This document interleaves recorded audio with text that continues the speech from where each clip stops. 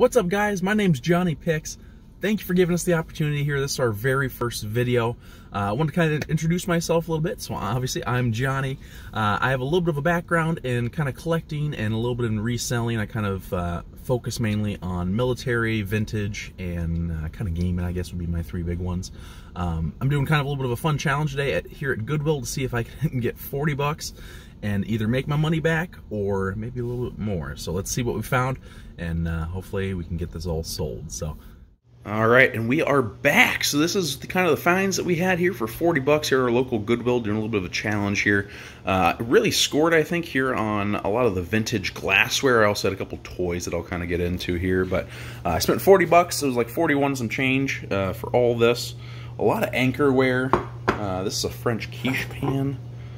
I'll throw the prices up here.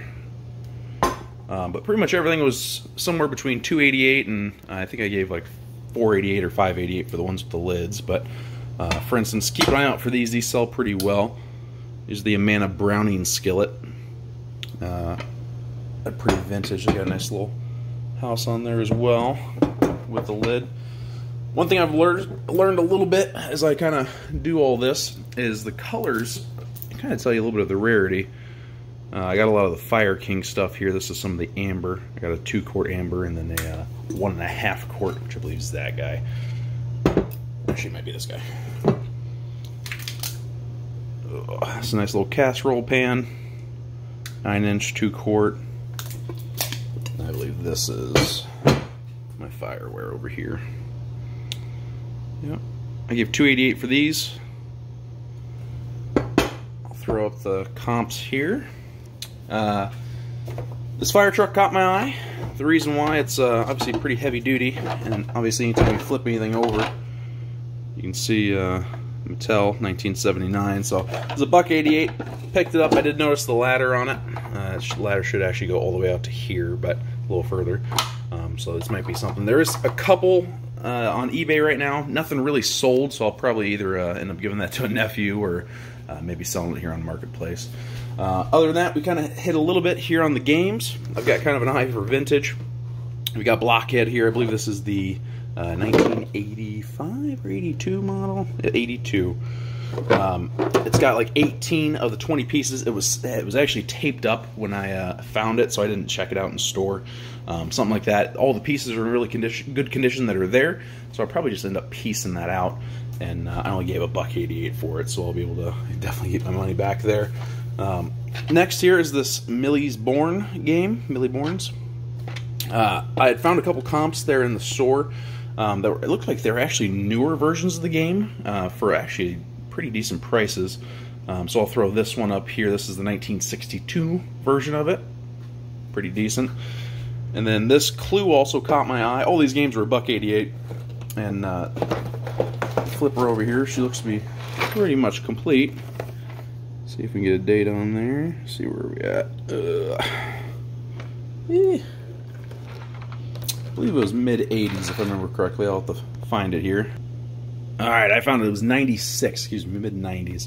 Uh, but pretty decent comps on this. Again, for a buck 88, I can always part it out or, uh, you know, sell the whole thing for a pretty decent uh, profit after shipping there. Uh, other than that, couple uh, little things here. I found this Ping Golf shirt. Couldn't find an exact comp, but I found a couple other that were like it that were all uh, selling pretty decently for the sensor cools. And then I think the real win of the day here, I didn't know what this was. Um, now, granted, I was born in 98 here, so this might have a couple years on me. I gave two nine, or 288 for it, but if you can see it there, says Bluebird Toys, Swindon, England, 1993. So I figured for three bucks, I'll take the risk on it. And uh, this is one of the neatest things I have found. So you break all these out here. Let me get them all set up here. So you think nothing crazy, right? Kind of cool. Maybe a little toy might open up. Give me a sec. All right, got her all open up. Look at the detail on these things. So apparently I looked them up. They're called Mighty Max. And uh, it does take batteries. And look how intricate these things are. Apparently they all light up. They've got a bunch of different accessories. One thing I found cool, it's got a little life raft right here. This slides in and slides out. This is a little pocket version. I'm not sure exactly what this one is. But how neat. And for two, three bucks, I'll take the risk on that. All these little pieces come out as well, which I thought was pretty cool.